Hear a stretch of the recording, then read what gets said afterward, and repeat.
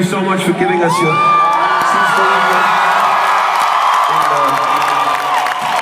the beautiful, beautiful city of Copenhagen. We're so happy to be here. We're so grateful that you came through the traffic and broke off your holiday to come and see our concert. And uh, please forgive my lack of Danish. It really doesn't sound very good, so I'm going to stick to this. And uh, all I can promise you in return for you coming is that we're going to play the best fucking concert we ever played in our lives. Maybe, maybe, just maybe you'll be the best audience we ever played for. So let's go.